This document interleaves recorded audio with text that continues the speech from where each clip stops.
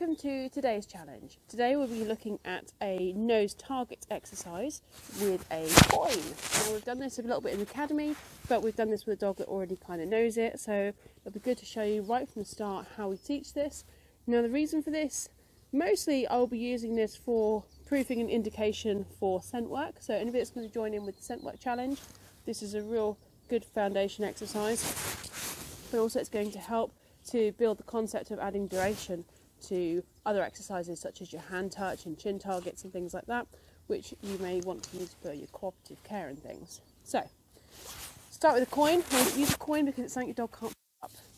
If the coin doesn't work for you, use anything that your dog can't really pick up with their teeth. And all you're going to do is you're going to pop it on the floor. As soon as your dog sniffs at it, you're going to mark yes, pick it up, and start again. So similar to what we did with um, like the box game. This is a free shaping exercise, so we're not luring the dog, we're just going to wait for the dog to make the right choice. So, step one, yes. Um, coin on the floor, mark yes, drop the treat. Ready? Yes. And then pick up the coin. Now, I pick up the coin each time initially, just so she um, notices it as something new in the environment, which means she's more likely to check it out. Ready? Yes. Good girl. And I want to drop the tree as close to the coin as I can. Yes. Girl. Yeah. Zombie. If she doesn't look at it, I'll pick it up and I'll it again. Yes. Good girl. What's the treat? There it is. Ready?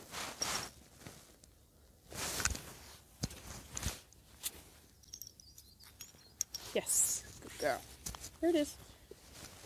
Now make sure you teach this on um, a surface where your dog can actually see the treats land as well. And actually, if you did this, for example, on your kitchen floor and you used dry food that makes a noise, it makes it a bit easier for your dog to notice that you've actually dropped the treats. Yes. Good girl. Ready? Looking for food. It's not there. I'll pick up the coin. We'll do it again. Yes. Good girl. It's there. Yes. Now if I can leave the coin there, even better. Yes. And every time she puts her nose on it, I'm going to mark yes and reward. I'm Not sure you can even see the coin. Uh, if I move it closer to the camera, you'll be able to see it maybe. Further away even. Here you go. Let's move further away. Yes. Good girl. Yes.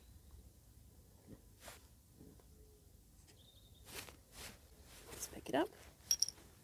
Yes. Didn't notice, did you? Wait to see if she will find the coin. from the treat.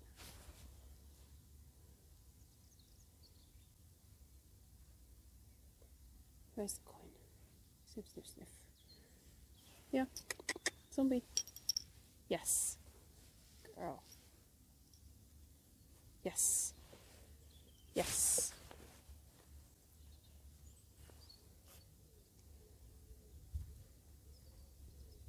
So this is a silent exercise other than the marker word that you use. Yes. Yes. Now basically when I when I reward, yes, I'm aiming to throw the treat at the coin itself. Yes.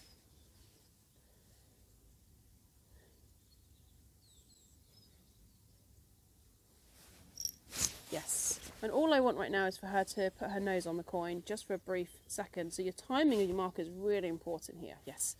Don't mark when you throw the treat. Yes. Mark when her nose goes on the coin. Yes.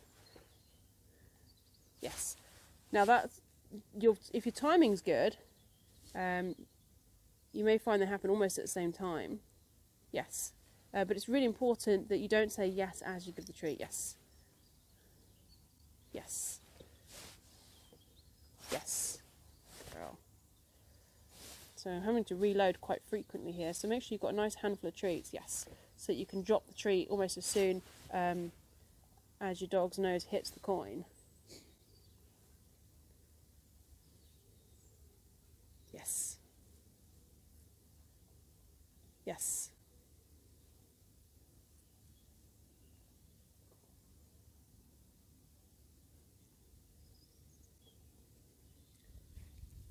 Still looking for treats. Yes. As soon as she finds the coin again, reward. Yes. Where are we? Here we go. Yes. The Coin up. Yes. Girl.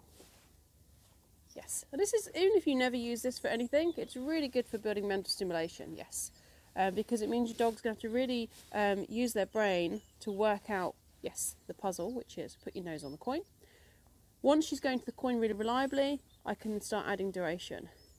But she needs a really firm understanding of this first before I start trying to add duration to it. Yes. So at the moment she's just getting a reward every single time her nose touches it. And that reward is being thrown at the coin. Yes. Almost that the dog, it, the, the treat appears to almost jump out of the coin. Because that's what's going to draw her back to it as well.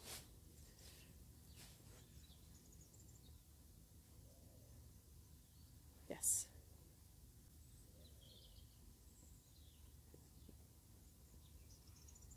Still looking for food.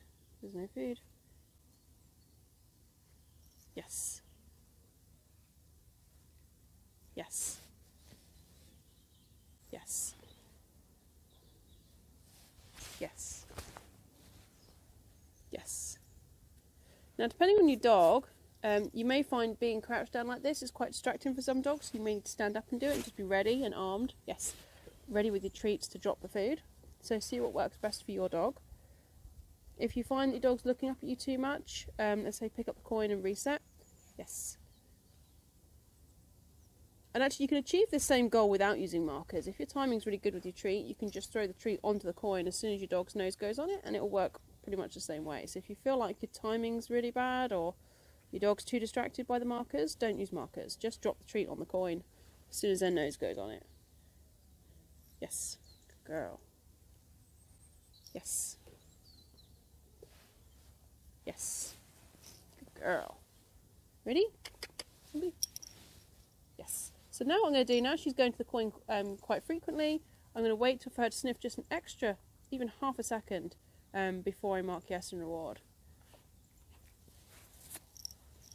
Yes.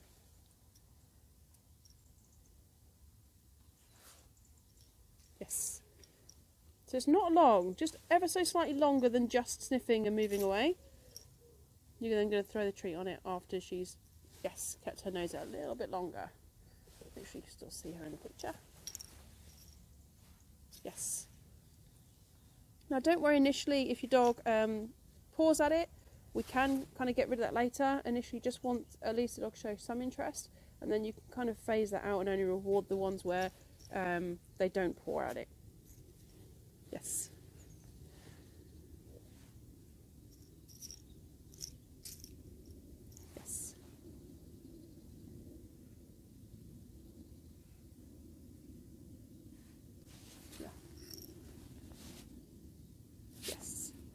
So what I'm going to do is I'm going to go away and practice this a little bit more and then I'm going to come back and show you how we're getting on once we've got even just more reliable one second duration on that coin so you can see how I'm going to progress this and then I'll get Hiccup out and show you what the kind of end goal looks like.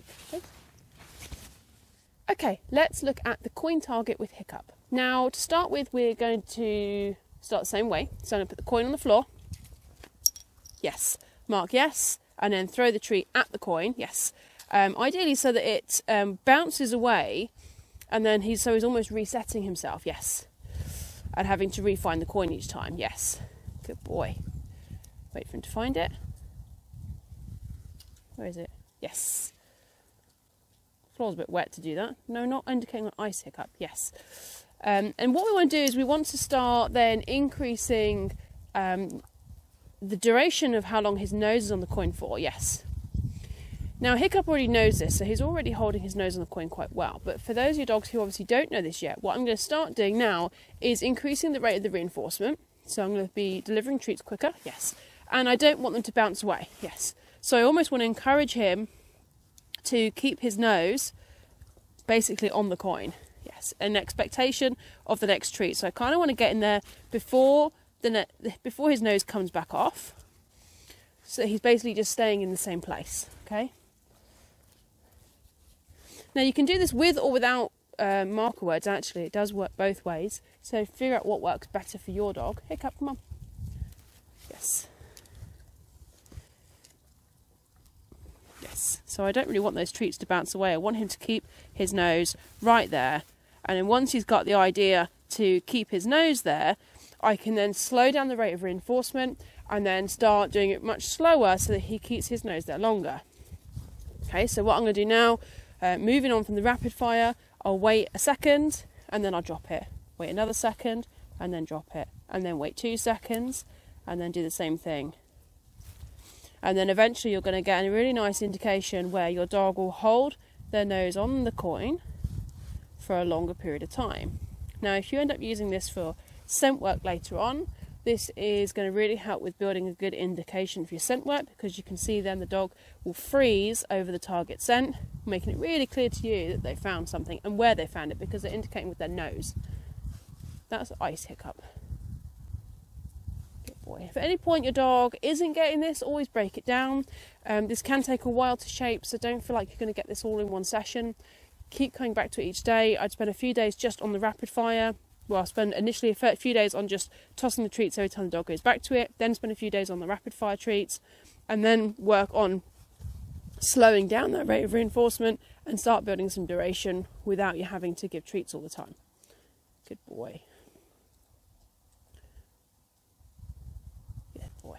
So go away and have a practice of this one, and let's see how you guys get on.